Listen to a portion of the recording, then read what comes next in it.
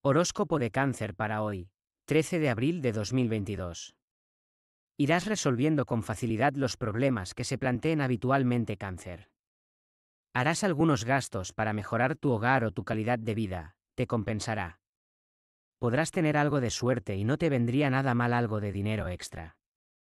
Mantén las distancias con tus compañeros en el trabajo, no hagas caso de las provocaciones o comentarios negativos. En el amor, tu pareja te apoyará en lo que necesites este día, cuenta con ella.